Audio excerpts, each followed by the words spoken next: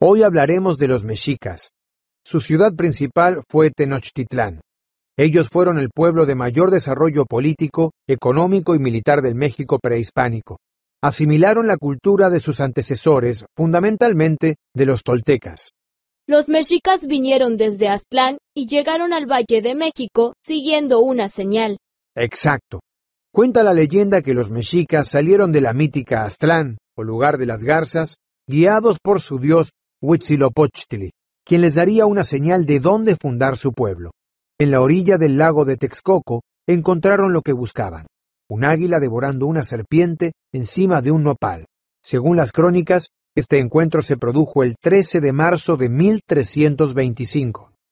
El sitio donde encontraron el águila era una planicie rodeada de un gran lago y canales.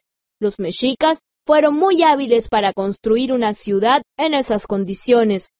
Cuando a fines del siglo XII los mexicas llegaron al Valle de México, los principales centros de población eran Azcapotzalco, Culhuacán y Coatlinchán. ¿Cómo fue que se convirtieron en ese gran imperio? Tenochtitlán y Texcoco se aliaron para derrotar a Azcapotzalco. Luego el señorío de Tlacopán se les unió para formar la Triple Alianza, siendo los mexicas los líderes, adueñándose de todo el Valle de México, y después conquistaron otras regiones, a las que les cobraban tributo. La guerra fue una actividad muy importante, por el afán de conquista de los mexicas y por motivos religiosos. Pero aquí hay que hacer una aclaración.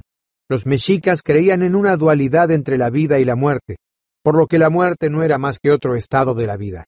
Los mexicas creían que el mundo fue creado y destruido cuatro veces. Luego fue creado por los dioses por quinta vez, que es el mundo donde vivimos.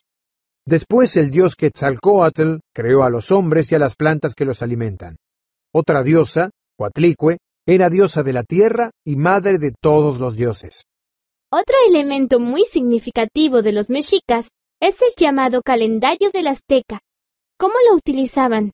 El calendario azteca o piedra del sol medía el año solar. Era un instrumento para medir el tiempo contando los días. Estaba formado por 18 grupos de 20 días que daban un total de 360, a los que se añadían cinco más, considerados sombríos o funestos.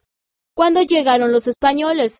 El 8 de noviembre de 1519, Cortés llegó a Tenochtitlán, siendo recibido triunfalmente por el emperador Moctezuma en la calzada de Tlalpan. Moctezuma hospedó a Cortés en el palacio de Axayácatl. Finalmente, el 13 de agosto de 1521, cayó Tenochtitlán.